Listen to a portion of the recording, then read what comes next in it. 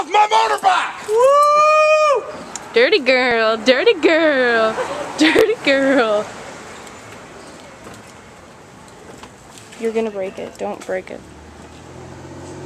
Remember that girl hit me with her fucking Vespa? what? A girl ran into me with her Vespa out here like a week ago. And I was just like, well, alright. You can hit me with that.